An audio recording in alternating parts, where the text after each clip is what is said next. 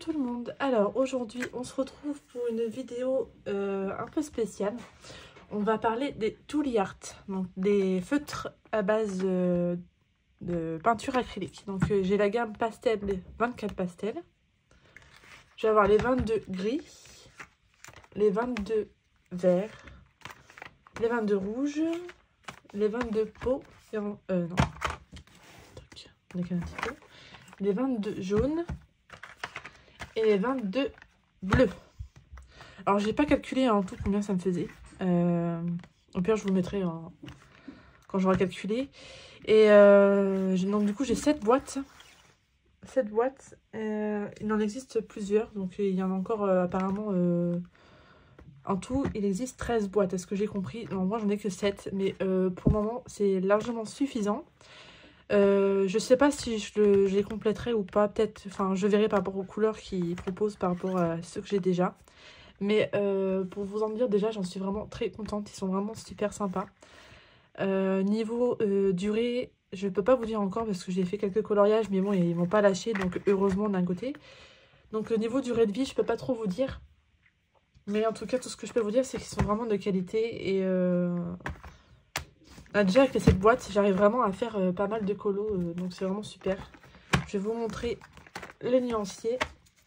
Donc là, je les ai fait en marque-page. Donc là, on va avoir le nuancier euh, de la boîte rouge. Donc on a du orange aussi, par là. L'orange, on a un peu de, rose, saumon, tout ça. C'est super, super... Du rose, pareil, chéri. Enfin, là, c'est des crimsons, mais ça me fait penser plus à un rose de chéri, on va dire un peu un rose marronné qui est super sympa. Là, pareil, on a du, bah, du coup du rouge. On a encore un peu de rose. Pareil ici. Du rouge rosé. On a du rose aussi ici. Et on a deux roses là. Et ceux-là, ils sont vraiment intéressants parce que c'est vrai que dans la plupart des gammes de feutres ou de crayons, ce qui nous manque en général, c'est toujours du rose, ce genre de rose-là. Et là, c'est vraiment chouette d'avoir ça. Parce que du coup, là, je le trouve vraiment très complet. Euh, comme nuancier, j'adore. J'aime beaucoup les couleurs, elles sont vraiment sympas. Donc là, j'ai choisi de les plastifier justement pour avoir regardé un maximum de temps euh, la pigmentation des feutres. Donc voilà pour le rouge. La boîte pastel. Euh, pareil, on a de très belles teintes, même si je dirais que, je sais pas, il manque vraiment un, un vrai bleu, un baby blue. Parce que là, c'est sky blue, mais bon, je sais pas, je trouve qu'il fait un peu de terne. J'aurais voulu un, je sais pas comment me dire, un bleu, euh, un bleu ciel mais clair, un, baby, voilà, une couleur baby et blue. Mais bon, sinon les teintes sont super sympas, super intéressantes parce que du coup ce genre de teinte c'est pareil, on, peut forcer, on peut en avoir besoin. C'est joli ma chérie. Euh, cette teinte là aussi j'aime beaucoup, c'est ce genre de de violet parme, c'est pareil, c'est très utile dans les colos. Là, c'est pareil, j'aime beaucoup. Et là, on va avoir euh, tout ce qui est jaune, vert pastel. Là, on a une sorte de pêche pastel aussi. C'est très sympa. On a vraiment de très belles couleurs. Ensuite, la boîte jaune, pareil. On a de très, très, une très belle gamme de jaune, pardon. Donc, on a un peu d'orange là. Orange marronné, là, ça peut être très sympa. Ça, pour les couleurs, par exemple, de Rox, de renard, ça peut être très sympa. Là, on a des des marrons un peu euh, ocre et euh, voilà, jaunis. Donc c'est pareil, ça c'est très utile. Là dans le colo que j'ai choisi euh, récemment, j'ai utilisé pas mal de ces teintes-là. Alors par contre j'ai remarqué qu'on avait un doublon, donc du coup là la couleur Expresso numéro 12 là, on va l'avoir dans les rouges je crois. Non, pas dans les rouges, c'est dans, dans les gris je crois. Ah je sais plus. Je sais qu'il y en a un endroit en tout cas où on l'a en double. Non c'est pas là. Euh, Expresso, c'est où je l'ai vu Ah mince alors. Je vais pas le retrouver, forcément. J'en parle, on va plus le trouver.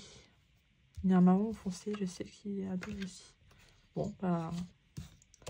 1, 2, 3, 4, 5, 6. C'est bien ça, il manque, euh, il m'en manque une. Il manque peaux. Ah bah voilà, qui me semblait, il m'en manque un. Ah zut voilà, c'est bon, j'ai retrouvé. Donc voilà, si, c'est ce que je disais, la Expresso. Donc euh, après, c'est pas tout à fait les mêmes teintes. C'est juste qu'en fait, on a le même, nom, en fait. Quand on regarde, c'est tout à fait les mêmes teintes, mais bon. Voilà. Donc voilà pour le jaune. Donc on a pas mal de marron là et on a pas mal de marron dans la gamme peau. Et ça, euh, la gamme peau, je l'adore. Franchement, il y a vraiment des teintes qu'il faut pour tout euh, type de peau. Que ce soit un peu black, plus oriental, japonais, tout ça. Même occidental.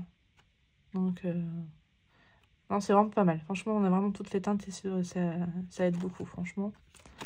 Donc voilà pour la peau. Donc je vous ai montré. Donc là, la grise, c'est pareil.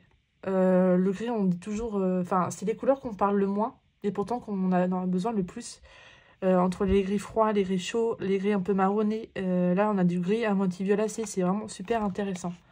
Donc, franchement, c'est vraiment une gamme à avoir que je conseille en tout cas. De toute façon, je vous dirai à la fin vraiment ce qu'il faut. Bon, après, je vous dirai à la fin. donc voilà, on a vraiment de belles teintes. On a un noir qui est vraiment très pétant. Ça, j'adore le noir de Touliard, il est magnifique.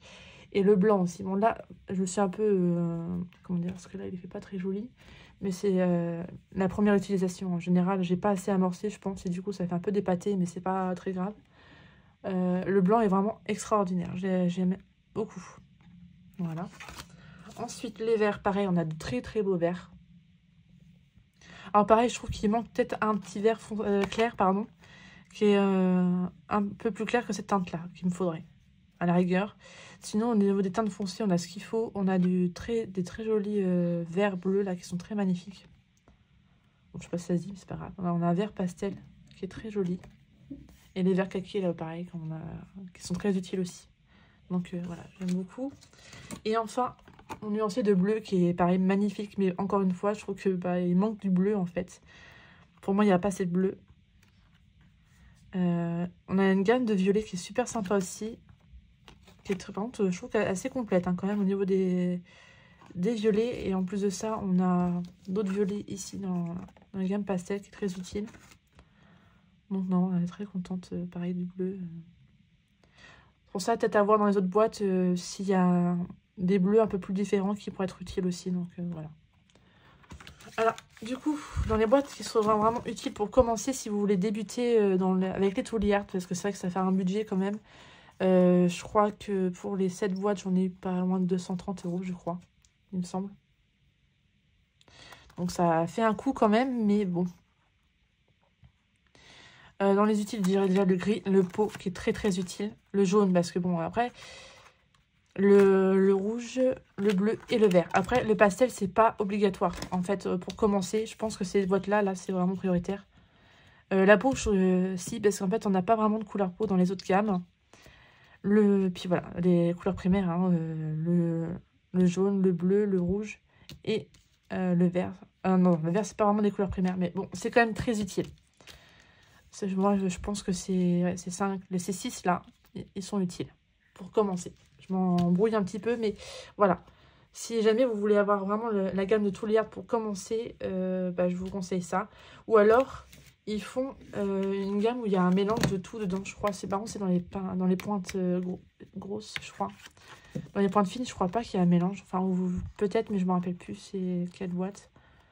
Mais voilà, en tout cas, ce que je peux vous dire. Les pastels, c'est secondaire. Si vraiment vous voulez avoir la collection, vous voulez avoir plus de teintes, bah, prenez la gamme pastel, mais voilà.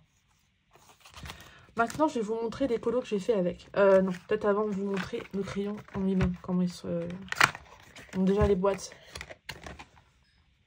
packaging comme ça. Donc euh, vous avez l'utilisation, comment le faire et tout ça. Vous avez le nuancier qui est là, euh, le crayon qui est là. Vous avez des petites, des petites images très sympas ici. Donc là, ça explique comment on s'y parie. Est-ce qu'on peut les réutiliser? J'ai eu plein de petites pointes dans chaque boîte. Euh, pour remplacer les mines si elles sont, euh, bah, si elles sont séchées ou euh, si elles sont abîmées. Donc on peut les changer, ça c'est vraiment super bien. Donc voilà. Donc ça plante, ouais. Je sais pas trop, j'ai pas vraiment... Ah si, c'était pour ceux qui font la peinture sur les céramiques. Ah ouais, c'est sympa. Enfin bref. Donc voilà. Ensuite, le feutre en lui-même. Donc voilà comment il se présente. Donc vous avez la marque tous les dessus. Elle écrit l'expense. Et vous avez en dessous d'où il provient. Donc là, ça vient provient de la boîte vert. Donc ce serait sympa. Là, vous avez l'indice de l'encre qui vous reste. Euh, voilà. soit j'ai jamais utilisé vraiment, donc je peux pas vous dire. Donc euh, voilà. Là, pareil. Hop, ça montre comment l'utiliser. Water Basic opaque. Donc c'est vrai qu'ils sont opaques par contre. Certaines couleurs euh, un peu moins d'autres, donc ils nécessitent plusieurs couches, mais sinon en général une couche ça suffit. Voilà. Donc voilà pour cela. Donc ils sont tous pareils. Hein. Il n'y a que la boîte pastel où il y a 24 teintes, sinon il n'y en a que 22.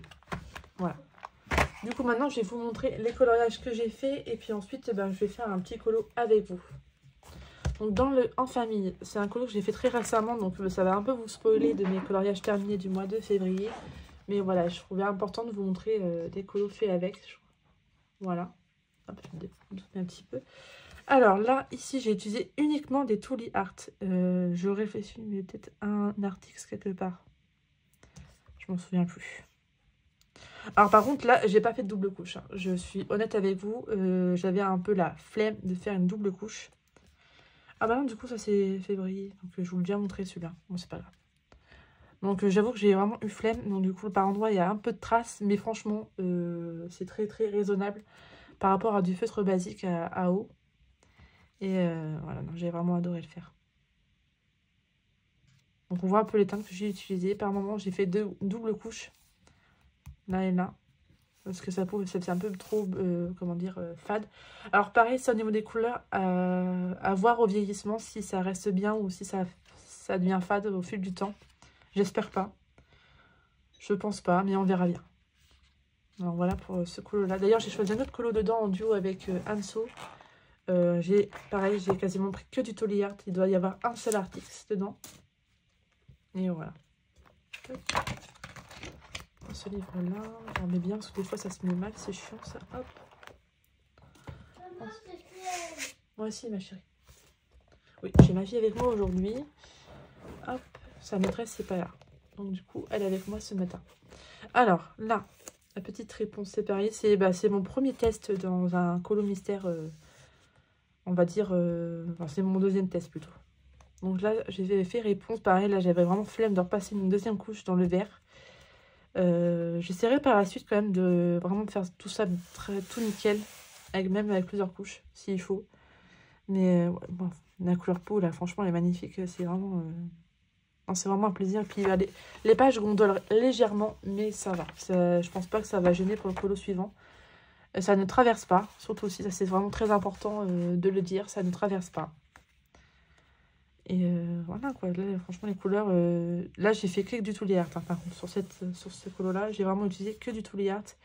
Et euh, voilà, même si des fois les teintes ne correspondent pas à des exactitudes, mais on arrive toujours à trouver. En tout cas moi pour mes 7 boîtes là, j'ai réussi à trouver à chaque fois. En tout cas pour le moment, dans les colos que j'ai voulu faire. Voilà pour celui-là. Et en dernier, le premier, bah, vraiment tout premier test que j'ai fait avec les Tooly Art. Et encore, j'avais pas tout à fait que des Touléas sur ce colo parce que bah, euh, j'avais pas encore tout reçu à l'époque. Enfin, à l'époque, c'était il y a quelques mois. Hein. J'ai fait Bambi, voilà. Je voulais un colo euh, assez simple pour pouvoir euh, les tester. Et là-dedans, je crois qu'il y a du... C'est le bleu des Art. Le bleu foncé, je crois que... C'est tout, je crois que j'ai reçu... Et peut-être du vert, un peu de vert. Là. Ah oui, et puis ce vert là. Et le reste, sinon, c'était des articles. Et les articles sont vraiment pas mal aussi. Mais euh, j'avoue qu'ils sont un petit peu moins pigmentés que les euh, Art. Mais bon, c'est reste très raisonnable. Donc voilà ce qu'on peut avoir comme résultat. Et j'aime vraiment l'effet peinture que ça peut donner. C'est vraiment, euh, voilà. Faut pas avoir, enfin si, ceux qui n'aiment pas les effets peinture dans leur colo, bah, je vous conseille pas ces feutres-là parce que c'est vraiment ce type de résultat que vous allez avoir à chaque fois. Si vous voulez vraiment, euh, si vous aimez vraiment le, résultat d'un coloriage à feutre euh, à eau, basique on va dire. Oh, J'ai une mouche qui m'emmerde. Et eh ben, euh, ben, ça c'est pas des feutres pour vous. Voilà. Et pour ceux qui ont au contraire, en ont marre de faire des traces avec des feutres à eau, bah, je vous conseille c'est les feutres acryliques. Pas forcément que les Touliard, hein, parce qu'il y a d'autres gammes qui sont très sympas. Euh, je suis en plein test d'ailleurs euh, bah, les Artix. Là j'en vais tester d'autres gammes mais euh, que j'ai pas encore reçu.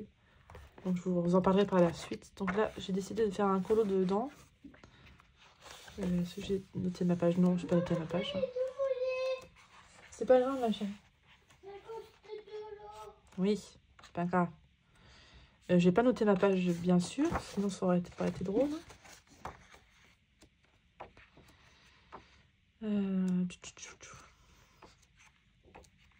Donc, j'ai. Bon, j'ai plein d'encours là-dedans que j'ai jamais fait. Que je continuerai pas non plus. Parce que j'avoue que les ronds, c'est pas ce qui m'attire le plus en ce moment. Même si euh, au début je voulais m'en séparer, mais je l'ai quand même gardé. Suite à des euh, colos de. Comment ça s'appelle de, Sarah. J'avais adoré ces colos qu'elle avait fait. Du coup, ça m'a donné envie de d'y retourner dedans. Bon, je vous montre un peu les solutions, mais c'est pour trouver mon colo. Je ne retrouve pas. Alors, c'est qui Bon, bah. Ah voilà, page 12. C'est le petit mot chou. Voilà, ici. Donc, on va tester ça. Euh, mon cahier.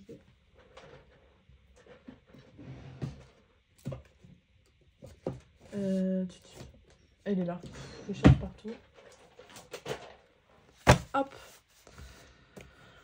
Là, on va commencer tiens, par la pose jaune, boîte 5. Voilà, 5. Alors par contre, vu que c'est les mêmes numéros, euh, moi je note, enfin je précise à chaque fois si c'est boîte jaune, boîte bleue, boîte verte, etc. Donc c'est sur ça que même si je trouve une trousse, j'essaierai de les ranger par, euh, euh, couleur. Enfin par boîte de couleur, pardon. Les jaunes avec les jaunes, les bleus avec les bleus, les verts avec les verts, etc. Parce que sinon je vais pas m'y retrouver au niveau des teintes, ça va être très compliqué. Hop, donc là on a un jaune. Donc on voit là que ça c'est un peu, j'ai un peu utilisé, donc il faut amorcer bien évidemment. Je vais prendre un petit brouillon pour euh, actionner le feutre.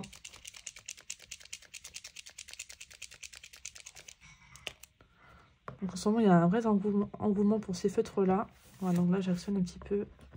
Pas trop faire de gaspillage non plus. On va essayer de garder un maximum euh, teintes. Donc là, j'ai dit, euh, là c'est le 1. Faut que je me trompe pas. Donc on va voir du 1 là. Pareil, il faut faire très attention parce que là, par contre, euh, vu que c'est assez couvrant, euh, si jamais vous vous trompez de couleur... Euh, moi, c'est pas peinture. D'accord, ma chérie. Parce que ça n'est plus. Parce que. J'espère que vous allez voir quand même, parce que du coup, euh, j'ai rezoomé un petit peu pour que vous voyez ce que ça donne. Mais du coup, il y a l'ombre de mon bras. Donc voilà, j'ai trop tendu. Donc là, je vais réactionner un petit peu. Voilà. Donc là, on voit bien que ça manque un peu d'opacité là. On voit encore le chiffre, donc il ne faudra pas passer une deuxième couche. Mais je vais attendre que ça sèche pour ça. Voilà. Je pense que pour éviter que le papier gondole au maximum, je pense qu'il faut vraiment euh, attendre que la première couche sèche avant d'en passer une deuxième. J'ai tendance à être pressée, moi, quand je fais mes colos, que voilà, c'est un peu pour ça.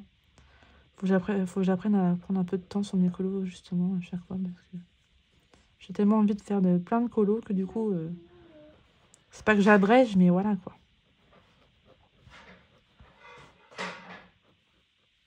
Donc pareil, pour ceux qui ne savent pas trop s'y prendre avec les, les feutres acryliques, je vous conseille d'abord de tester sur des colos que vous n'aimez pas trop. Euh, sur des livres aussi que vous n'aimez pas trop. Vous testez, puis au, d'un moment, quand vous avez pris la main, bah, vous faites sur les, vraiment les colos bah, que vous préférez. Quoi. Mais c'est vraiment un plaisir de faire avec ça, franchement. C'est vraiment super agréable à utiliser. Donc voilà pour la couleur 1. On va laisser sécher un petit peu. Je reviendrai faire une double couche avec celle-là. Après, je vais passer à la couleur... Euh,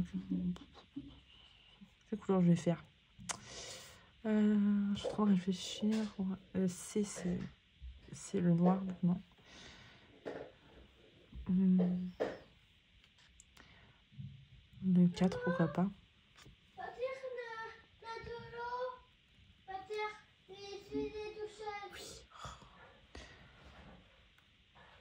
Du coup, je suis en train de réfléchir sur la couleur que je vais utiliser. Là, ça me gave un peu. 5. Donc, on a la couleur 5, c'est 7 dans la boîte rouge. Tac.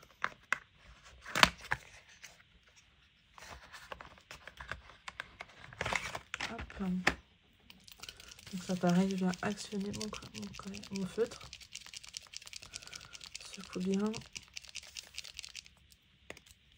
Après, pas besoin de faire ça pendant des heures non plus. Là, on voit bien que l'encre coupe bien. Donc, il n'y a pas besoin d'en faire en plus des tonnes. Alors, là, j'avais été couleur numéro 5. Alors, où c'est que j'ai ça? Donc, pareil, on fait attention de ne pas passer la main euh, sur l'encre qui n'est pas sec encore. Ça va éviter euh, d'en foutre partout. Et d'ailleurs, ce que je disais tout à l'heure, en fait, c'est euh, en fait le, la peinture acrylique. C'est comme le Posca, en fait. Quand vous passez sur le feutre euh, déjà colorié, vous voyez bien que bah, ça, se passe ça repasse dessus. Donc, si jamais, par exemple, vous avez une couleur claire et que vous passez une couleur foncée dessus, bah, du coup, euh, ou même l'inverse, bah, ça fera une couleur différente. Donc, il faut faire vraiment attention de ne pas dépasser. Là, vous voyez, là, elle est vraiment opaque. Donc, celle-là, cette couleur-là, j'aurais pas besoin de faire une double couche. En général, dans les couleurs foncées, il n'y a pas besoin. Dans les couleurs assez claires, en général, on a presque qui est un peu logique. hein. Donc, je continue toujours vers un petit rond. hein. Après, chacun sa technique. Il y en a qui font montrer. Moi, je garde ma technique des petits ronds. Je trouve ça plus simple. Hop. Donc, pareil, peut-être commencer par des petites zones. Pour ceux qui sont pas trop à l'aise. Comme ça, euh, vous faites petite zone par petite zone. Et euh, je préfère les petites pointes en fait que les pointes euh, grosses, on va dire. Parce que déjà, c'est beaucoup plus précis quand vous avez un coloriage comme ça assez minutieux à faire. Surtout dans le, par exemple, le- je sais pas, je donne un exemple, le en famille ou euh, le love story par exemple. Bah, euh, les grosses mines, c'est vraiment pas possible en fait. Donc euh, je vous conseille de prendre les pointes fines et à, à la rigueur ceux qui veulent euh, pas, qui veulent économiser euh, justement ces feutres là, quand il y a des grandes zones à faire, bah, prenez au moins juste peut-être une boîte de pointes, euh, euh, de grosses pointes justement pour pouvoir faire des fonds par exemple. Euh, le 4, 10, toujours en boîte rouge. Et c'est vraiment euh, super intéressant, je trouve. C'est vraiment super bien. Donc là, pareil, on actionne bien.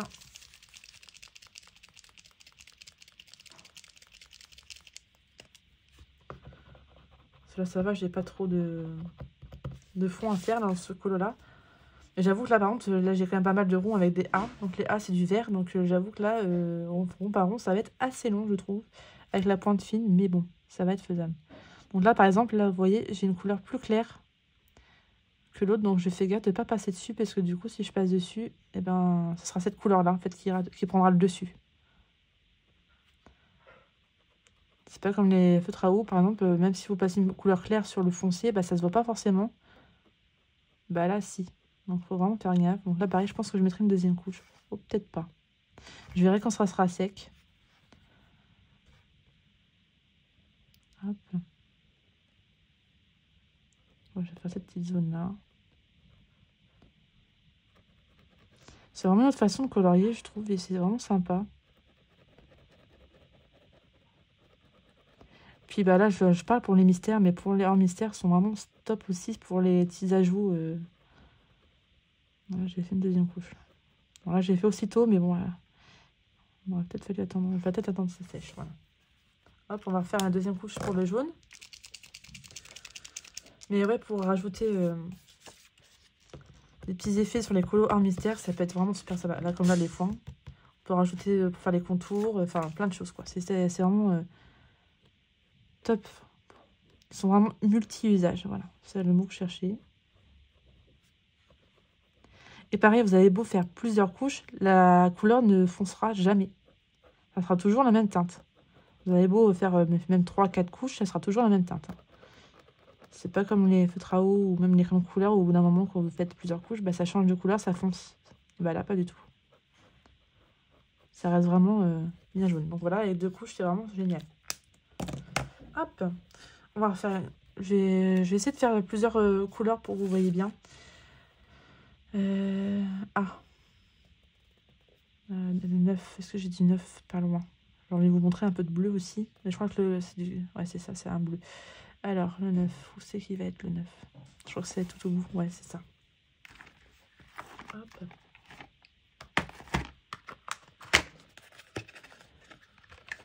Voilà, 6, le 9 il. Hop, pareil, j'ai actionné mon, mon feutre. Et ça, faut faire ça à chaque utilisation. hein. Même si vous venez de l'utiliser, il faut le refaire. Parce que sinon, ça va faire des pâtés, ça... l'encre va pas se déverser comme il faut, ça va faire des traces. Donc, faut vraiment pas hésiter. hein. Après, comme je le dis, euh, ça ne sert à rien d'insister trop non plus, parce que sinon vous perdez de l'encre pour rien. Alors, je vais bouger un petit peu, parce que celui-là, je ne l'ai pas, pas relié, ce livre-là, donc c'est pas très pratique, mais bon. Voilà, donc là, on a du neuf ici.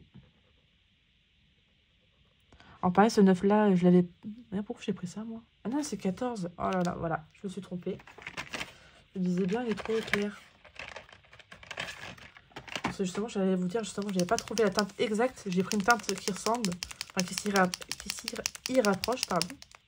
Je vais y arriver. Et du coup, voilà, ça, je trouve ça génial avec ces là Par je me suis trompée. Bah, juste à repasser dessus et voilà. Ni vu, ni connu. Donc franchement, et ça marche même pour l'inverse. Hein. Quand c'est des couleurs foncées, c'est pour passer euh, la couleur claire par-dessus. Alors par contre, attendez que ça soit sec. Là, j'ai pas entendu parce que c'est une couleur foncée par-dessus une couleur claire. Mais par contre, quand c'est l'inverse, attention. Alors là, par exemple, je vais me tromper. C'est un 8 ici. Donc ça commence bien. après, c'est un bleu aussi. Donc c'est pas très gênant.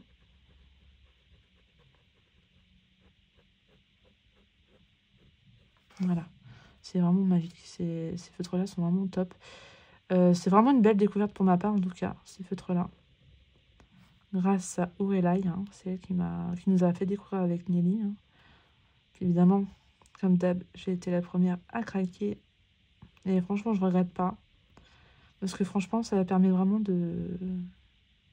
Ah, déjà, ça permet de tester un petit peu d'autres matériel. Moi, j'adore. Vous savez, j'aime beaucoup ça tester du nouveau, matériel, même si euh, là maintenant j'ai un peu tout essayé, on va dire. Soit l'aquarelle, la gouache, l'acrylique. Euh... les feutres acryliques, je l'avais déjà. Mais j'avoue que je les utilisais seulement pour euh, des petits détails, jamais pour du coloriage entier. Voilà. Donc là, je sais pas trop encore euh, si je ferai une deuxième couche, je verrai par la suite. Ça, on, on va essayer? On va essayer du vert, tiens, hop. Donc, 19. Euh, Et là, c'est pour le Ah, ah oui, c'est pour le fond. Donc, 19. Je ne trouve pas.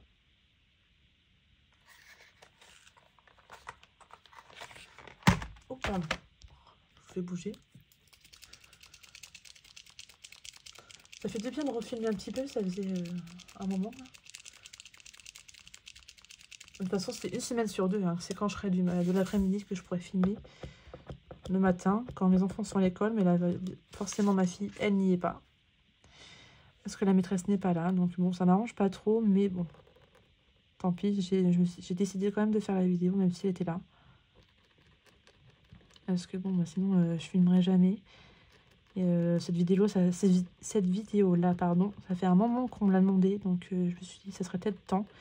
Sachant que je vais refaire d'autres vidéos par la suite avec d'autres marques. Enfin, peut-être... Mais les regrouper. Parce que sinon...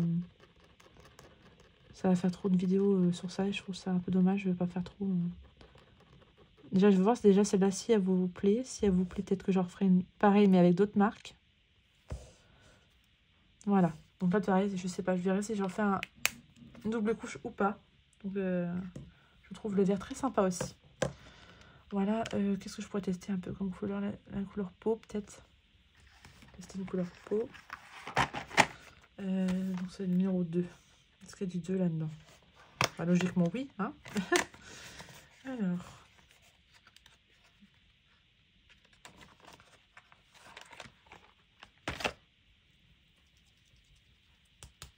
Donc là, des fois, il y a des billes, elles coincent un peu. Voilà, voilà. Là, c'est pareil, il ne faut pas hésiter.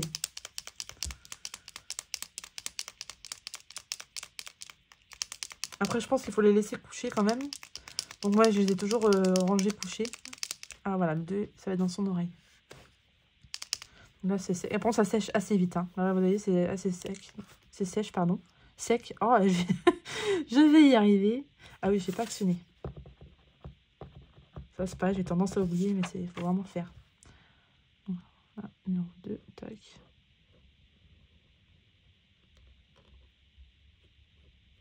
ça, ça recouvre bien les lignes, donc c'est vraiment très très sympa. Hop, pareil, devant un petit rond.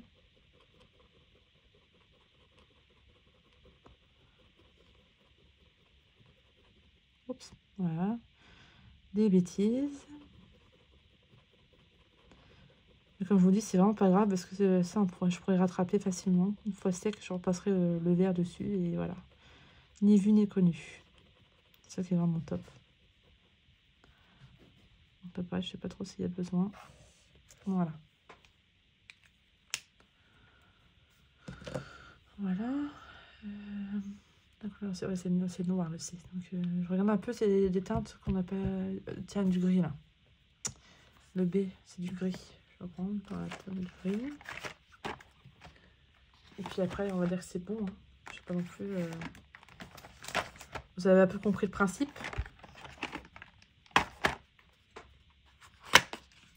Donc, le gris, c'est le 2.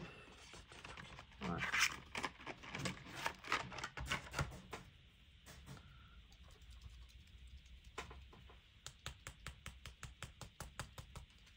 Je vais un peu mon poignet des fois aussi.